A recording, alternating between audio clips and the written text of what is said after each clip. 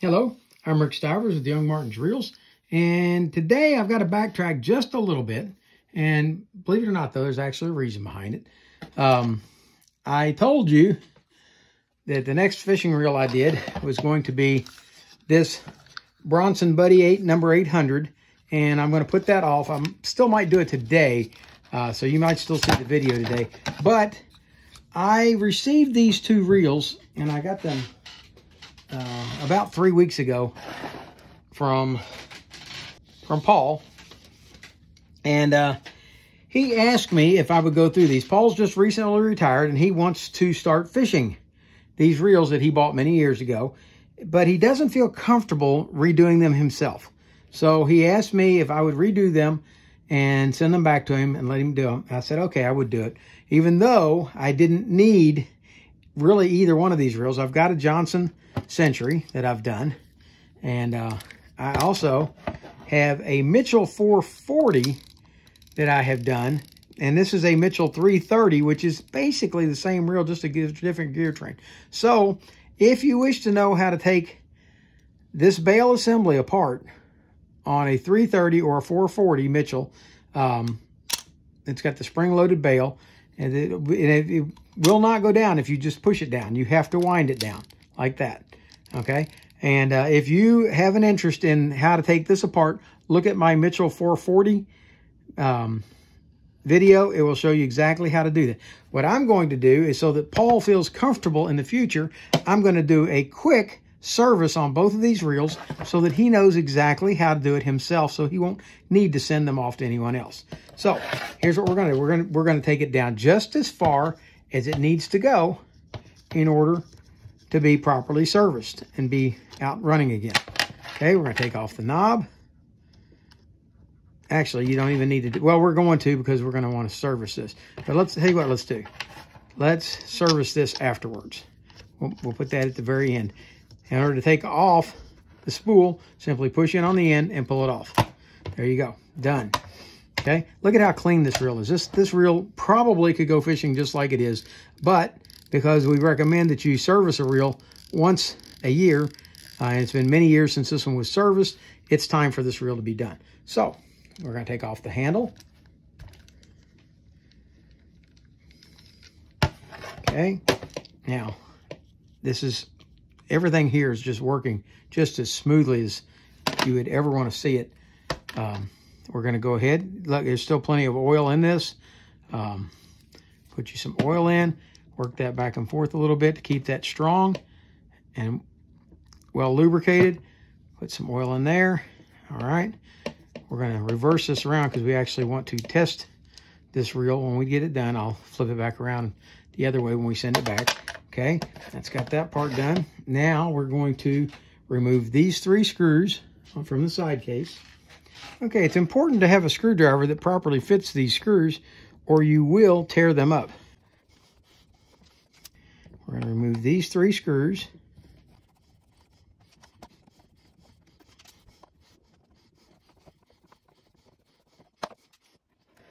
Lift this off. Okay, there's a lot more grease in this reel than ever needs to be in here. So, let me get a paper towel. Chris Jenkins, you will love this reel. This is exactly what you call a grease bucket. And we're going to take this grease, all this tons and tons of grease that's in here that doesn't need to be in here, and we're going to pull it out of here.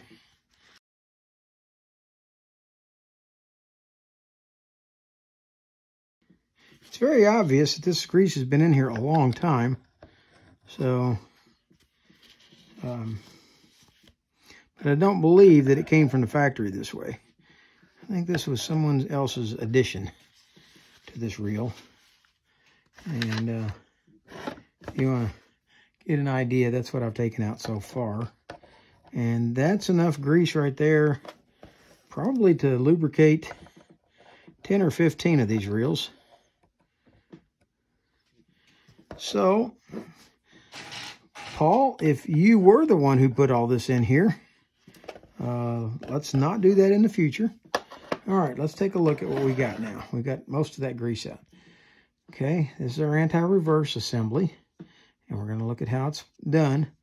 If you look, it's got a spring that comes in around, goes on the inside of this and hooks in there. And the other side is going to come out and go around this post right here. Okay. But we're going to lift this out now, like so. And we'll clean that up and get it put back in there. Okay, what we're looking for is any shim washers that might be installed in here. Okay. And so far, we haven't found any. Okay, there's not one here on this post. There's not one on this post. There's not one here where this fit down over this post. Okay, so, so far there's none. We can now slide our main gear out and we're going to look and on a Mitchell 300 or any of these three, three and four series reels, you always want to look for shims because they're so easy to misplace and lose. Okay, no shim there, no shim here. Okay. Now we're going to lift this gear out. Okay. Scrape off the excess grease. Like so. All right. Now we're going, now here's a shim right here. See those, see that shim stack right there? Can you see it? Let me bring this up so you can see it better. Okay, there's a shim stack right here on top of this gear. Okay, we do not want to lose those. Okay, those are the ones that go on this post right here. So what we're going to do, we're going to go ahead and put them on that post so that even if we clean it, they'll still stay here. See if there's any more. Did I get them all? All right, that's all the shims off of that gear. We're gonna scrape some more grease out. Okay, and now we're gonna lift this gear out. Okay, there's no more shims on it. This is our pinion gear. We'll scrape off excess grease like so. Set it over here. We're gonna lift this gear out now. Okay, this is one with the three prongs on it. They're gonna go into those right there. Okay, set that one over there. And then this one is our last one that we'll need to take out. Okay, we're gonna lift it out. This is our about this is our crosswind plate. And it, of course, is full of grease as well. There we go. I'll set that one to the side. And at this point, I can now come in one more time with my screwdriver, try to get the rest of this excess grease out.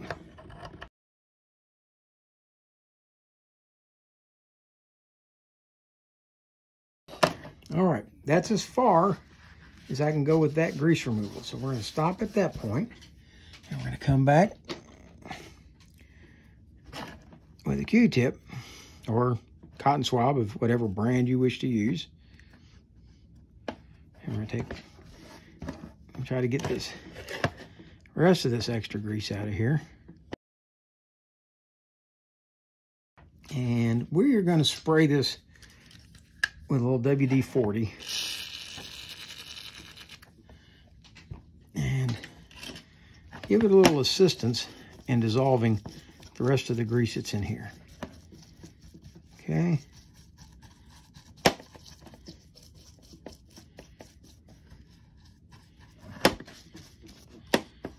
And I'm going to use this kind of like a sopping, like a mop.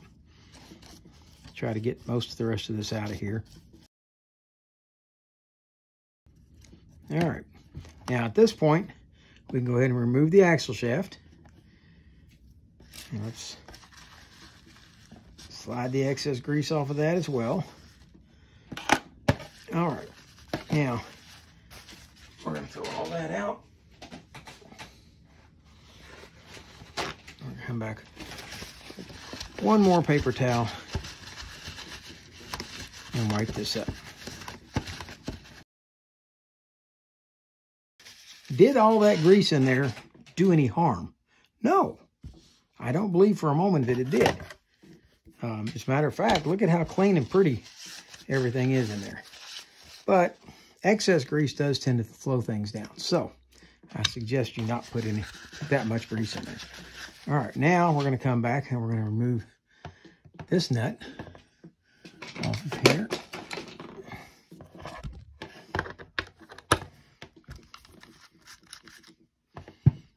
Okay. Okay, we're going to slide this up now. Okay, with that up, we should be able to slide in.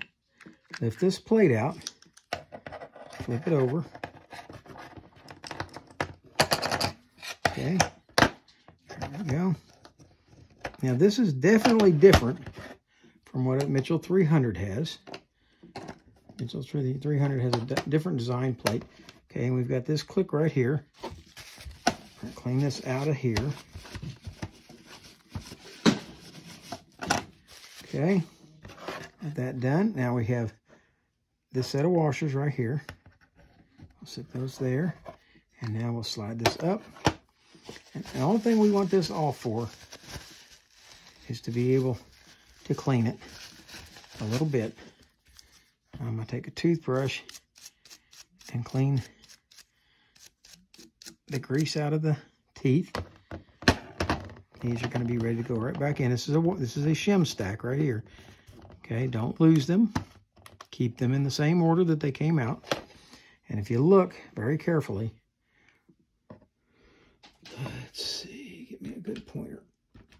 Okay, if you look very carefully right here, this is a head washer or shim, and you do not want to let that slide off and lose it. Okay, this one has two of them. Sometimes one will be stuck to the bottom right here, and it'll come off. So make sure that you've got those and that you don't lose them.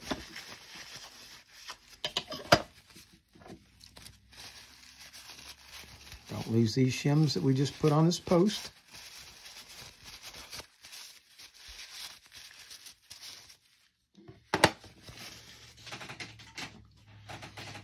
All right, as I go on from here, every time that I go to clean and lubricate something, I'm just going to go into fast forward motion and uh, you'll get to see all of that on both reels. Okay, so here we go. We're ready to start reassembly. We're going to put some grease on the rotor gear a little bit right here. Not that that touches, it really shouldn't touch, but we'll put a little bit there in case it ever gets close enough to rub, just a little bit. Then we're to put a little bit right here on this shaft. And we're to slide that all the way in, like so. Okay, with that in, now we're going to be reinstall these shims them back into place. Right there like that. Then we're going to install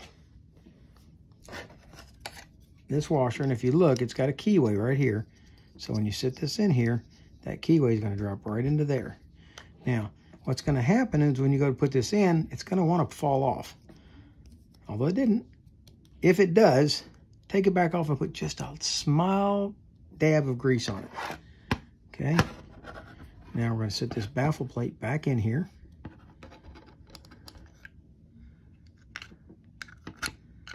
Like so. Fit it on. All right. Oh, we, we, let's do something real quick. I said that I wasn't going to take this apart, and I'm not. But what we are going to do is before we put all this back together, we're going to clean off the old grease right here. Okay. And we're to put a little bit of grease back in there, like so. And we're to put a little bit on the teeth right there, that gear. We're not going to take that gear out. Okay, we're going to leave it installed. Okay. And then we're to put a drop of oil right here. I don't know if you can see that. This is a lever right here. And this locks the bail. Okay, where you're going to put just a little bit of grease on the back side of this plate so that it can slide easily. And there I went and lost the, the shims. Okay, let's put the shim stack back on now. Okay, shim stack is reinstalled. This washer shim is installed here. We have oiled the inside trip release for this. And if you ever need to know how to take that apart, like I said, go over and look at the 440. It's exactly the same.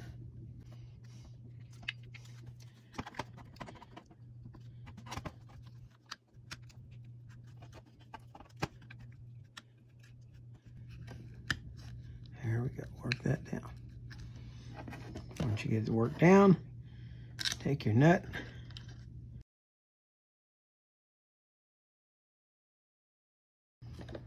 tighten it back down like so.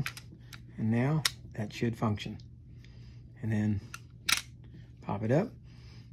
We're going to put a drop of oil here drop of oil here one here one here one there and one behind there come around to the other side and put a drop of oil there that should lubricate all of that so that it functions well okay? And remember, that's not gonna stay down when you push it down unless you reach over here and pull this lever the rest of the way, and you can do it that way. But what brings it down is rotating, which will take and push this lever all the way over. There we go. Just like that. This, this is a sweet reel.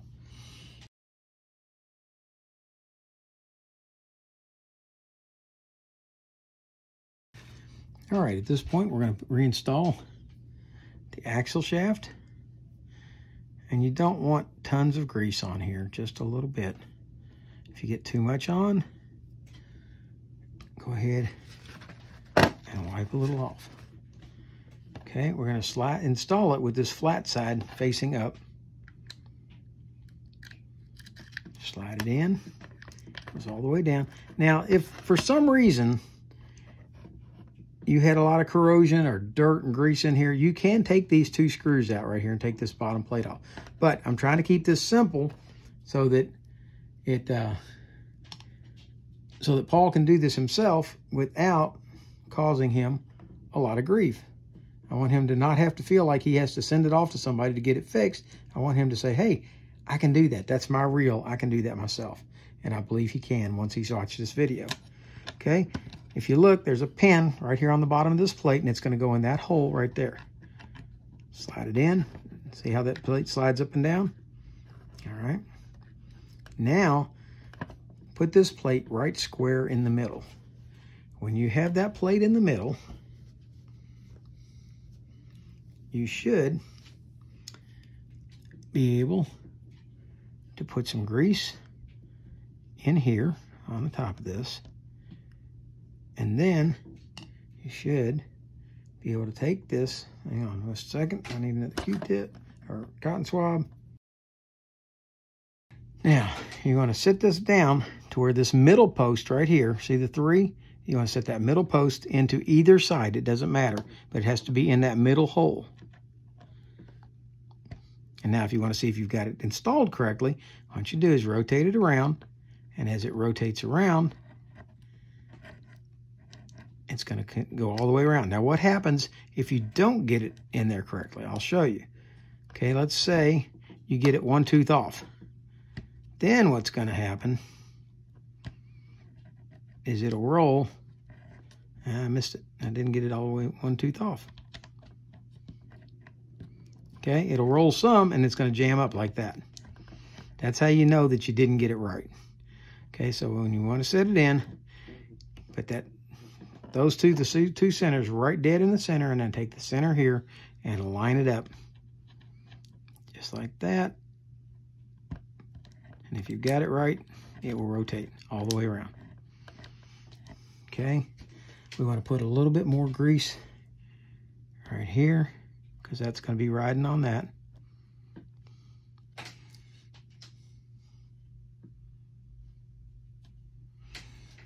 All right.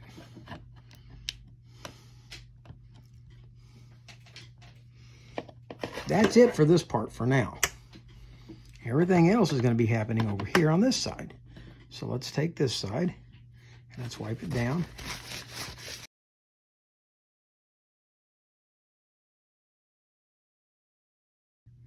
Let's grease our shaft.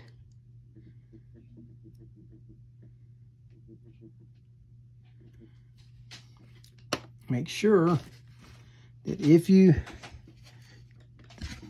have any dirt in this hole that the shaft goes in, that you've cleaned it out. Slide the main gear down into that shaft, rotate it around. Now remember, you don't want to lose those shims right there because they set up your alignment. Okay, now this gear,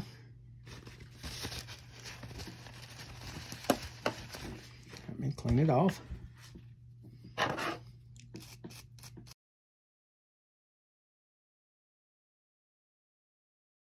This gear is then going to slide directly on like this, and you have to get it to mesh with that. Okay, once you've done that, make sure before you do that that you put just a little bit of grease on the post. Okay, then you're going to come back and you're going to grease this pinion gear because it meets up with this gear on the rotor head.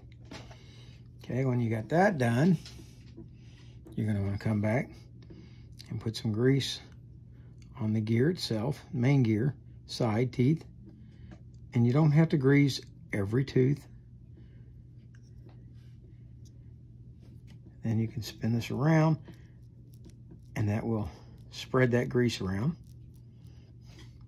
Then you're gonna come back, put some on this gear, on its teeth, that.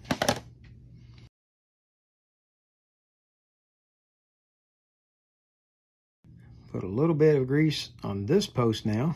And put a little grease on these teeth. And then put a little bit on these teeth. All right, Paul, I'm hoping that you are now able to see the difference in how much grease is in here and how much there needs to be in here and how much was in here. Now, before we put this one on, let's go ahead and put our anti-reverse lever back in.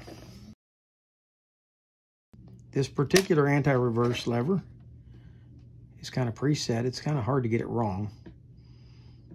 Okay, so let's set it in place. It goes in like this.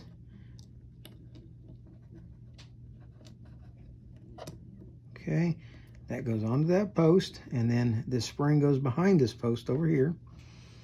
And now this lever over here should pivot. And this is important because I don't think what's been happening over the years, I don't think people have been oiling this post right here where this lever is. And these things jam up. They get a little corrosion in them and they quit working. Okay, so make sure that you've oiled that post in there and then put yourself a little dab of grease right there all right, now we're going to set this gear back on, like so. Anti-reverse, let's turn it off. And at that point, this is ready to go and merge back to this side. And if you've ever done a 300, you can see, yeah, this is definitely a different gear setup. Okay, now we're going to slide this in. It, it works best if you don't turn this upside down. If you can keep this one sideways and this one sideways and just merge the two together like this. Okay, once you've done that, go ahead and align your screws. And let's set them back in place.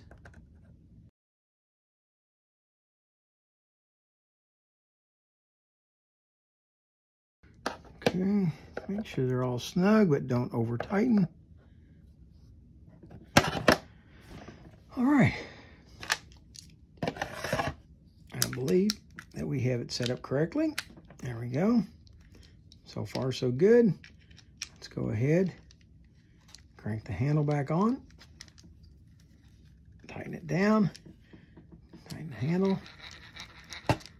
All right. Anti-reverse is on. Anti-reverse works. This is one sweet 330 reel. Okay. Now we're going to come back to this. I told you I would take this apart later and service it. So let's go ahead and do that right now. Go ahead, take off the cap. Take off your pressure plate, like so. And notice, that's all there is to this one. You take off the bottom side. Okay, you've got your clicker on the side. This is your clicker here.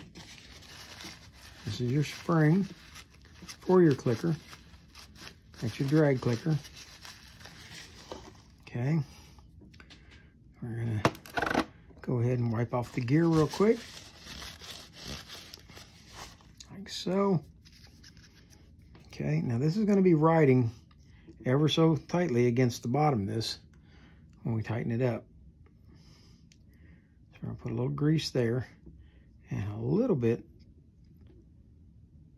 right here on these teeth. Slide that back in like so. Wipe off the top right here. And I'm gonna come back with a cotton swab and wipe out right inside here. Verify that this is clean here. Wipe this off. Now, leave a little bit of grease on this because here's what happens, folks. If you don't, and some water gets inside there, this little guy rusts up pretty bad. So go ahead. I've seen a lot of these that were pretty corroded. Go ahead, tighten that back down. Not real tight, just snug it.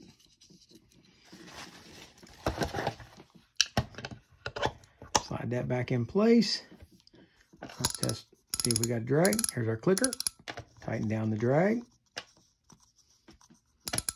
Keep going.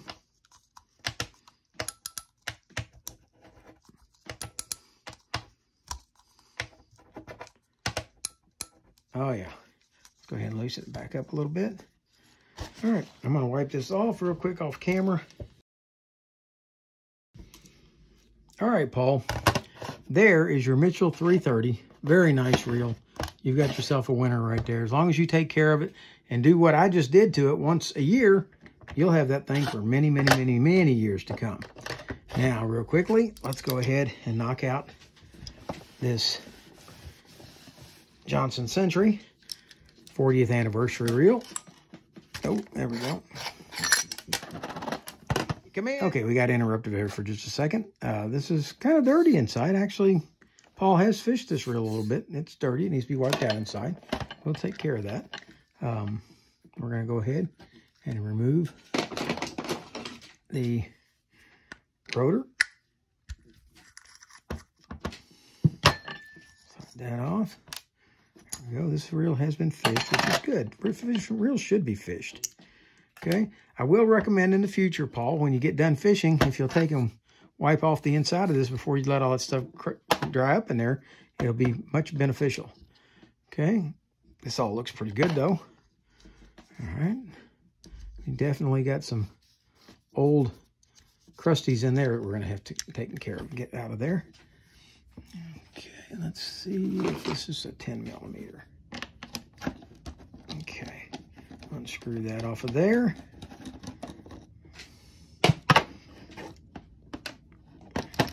And Paul, this this is one of the simplest reels there is out there. Uh, I think you'll be happy to see it. And it's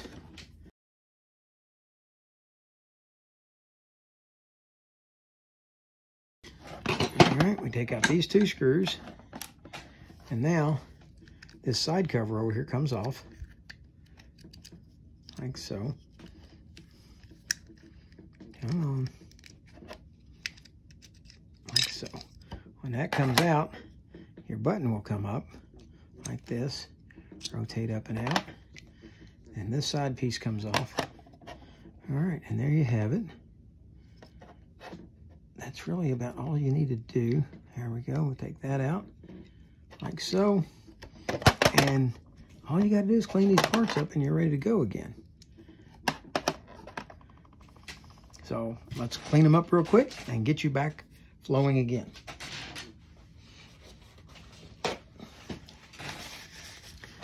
First thing I'm going to do is spray this front cover. See the corrode, see the dirt and stuff that's in here? It looks like this was fished in some really green mossy water.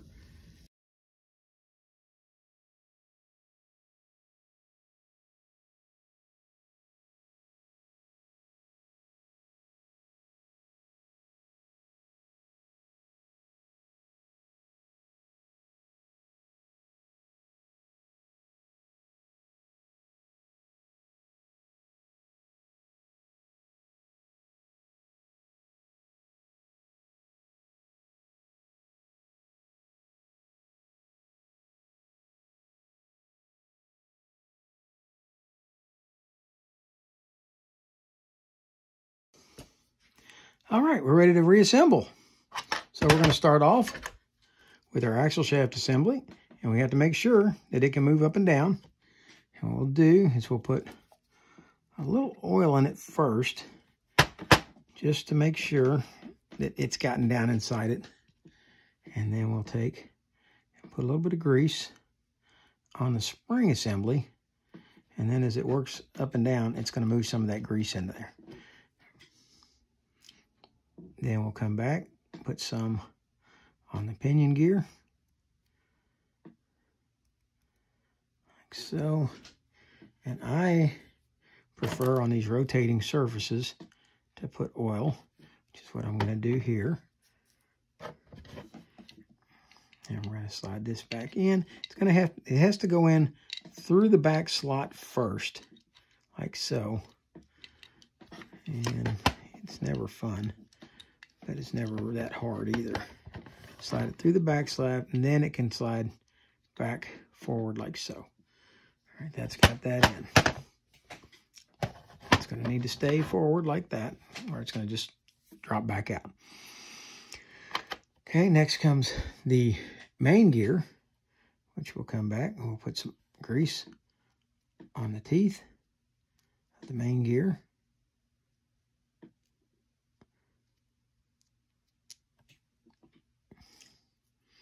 And then we're going to take and put some oil on the shaft of the main gear. And then just before we slide this main gear in, we're going to take and put just a little bit of oil here and here. And then we're going to put just a dab of grease here and here. And we're going to put a little bit on the back side here on the anti-reverse. And the reason we want to do that, if you look, see the scar marks on this? No more than this reel has been used. It's still scarred from that plate dragging on this. So put a little bit of grease and it will help keep the anti-reverse from grinding away on the back of the gear. Slip that back in like so. And now that's just about ready to go back in. The next piece that's got to go in is this button right here. The button you have to slide in from the back side. Just before we do it, we're going to put a little bit of grease here, and we're going to put some in the hole right here. And we'll slide the button in like so, bring it down and hook it in. And before we do this, let's go ahead and put just a dab of grease right here on the drag mechanism. All right, slide that back into place. We're gonna take this side plate and this shaft right here has got to go through the hole in the button. And you may have to flip it over so you can see it go through like so. Once that's done and you've got it in, you're ready to take this side and put it back in like that. And if it's fitting properly, which it should, everything should line back up. And there's a slot right here. Make sure that slot goes into that slot when you hook it in. Otherwise, it's going to hold it out just slightly. Make it stand proud, and if it's standing proud, it doesn't want to go in the hole. We're going to put this screw in. And this screw in. Don't over tighten them, just snug them up nicely. Okay. Now you should be able to slide on your handle. Tighten the nut down.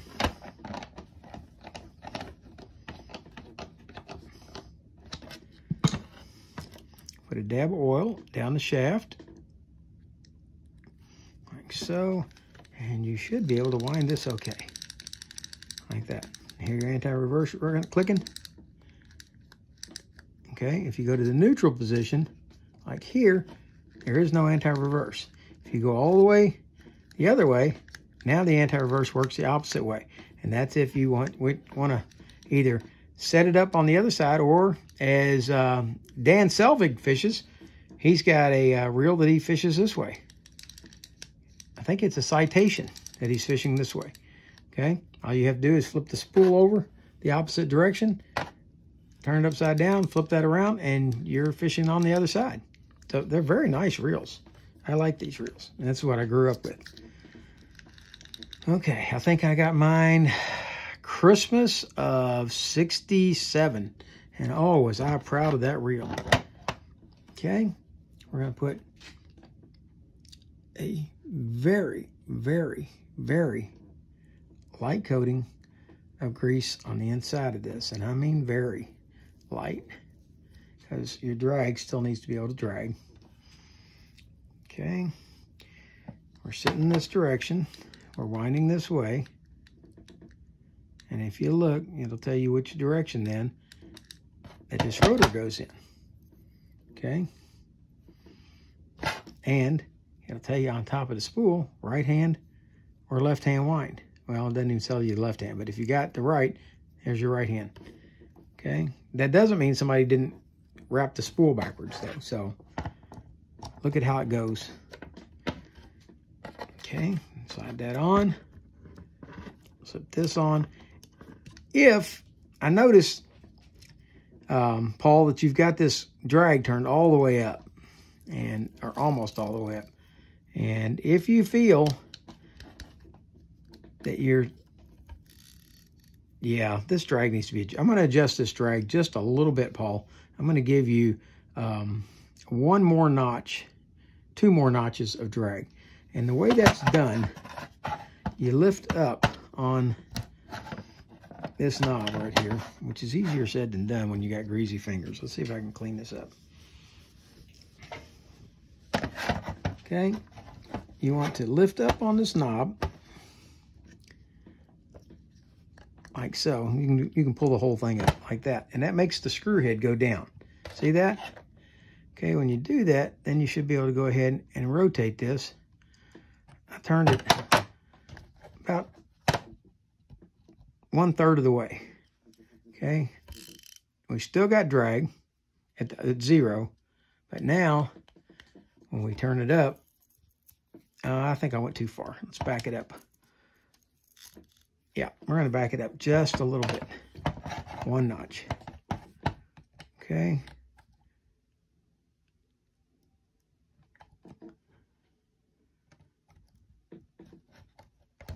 Like so. Okay, now let's see what we got. There, we still got drag. Let's go to eight. That's almost complete drag. Okay, so this right here, your former setting at seven is now about a five. Okay, so I think I think you'll be happier being able to use the middle drag, but yet you've still got the capability of cranking down if you really need it. Okay, this has been wiped down. We're going to put a little bit of grease here.